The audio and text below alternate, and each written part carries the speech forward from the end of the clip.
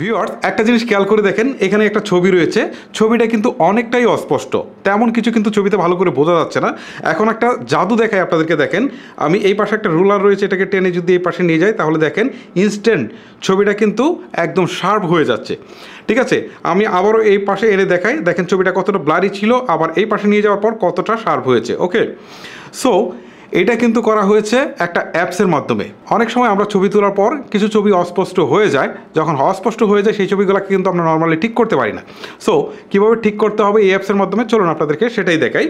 আমি এখান থেকে হোমে ব্যাক করে চলে যাচ্ছি। হোমে আসার পর এখন আমি আপনাদেরকে দেখাবো যে আসলে কোন অ্যাপসটাকে আমি এখানে ইনস্টল করেছি।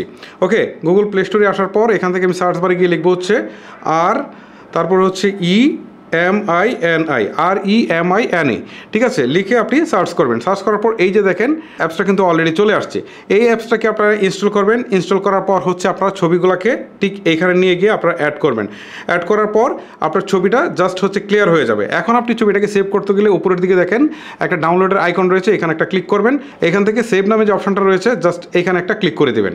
ক্লিক করে দেওয়ার পর এটা যদি ফ্রিতে আপনারা ইউজ করেন, তাহলে অসুবিধা হচ্ছে এরকম অ্যাড চলে আসবে।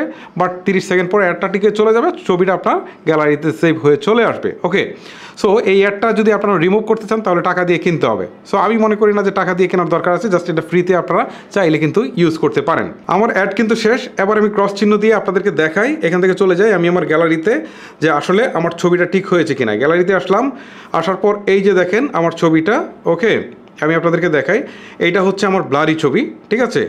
আর এখন আমি যে ছবিটা দেখাবো, এই যে, এই ছবিটাকে কিন্তু আমি পরে টিক করেছি, ঠিক আছে? সো আপনারা দেখেন ডিফারেন্সটা দেখেন, এখান থেকে কতটা।